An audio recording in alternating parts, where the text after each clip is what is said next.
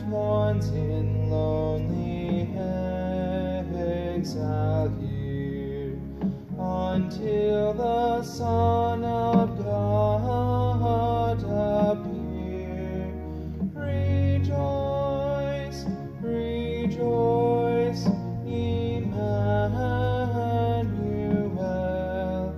shall come to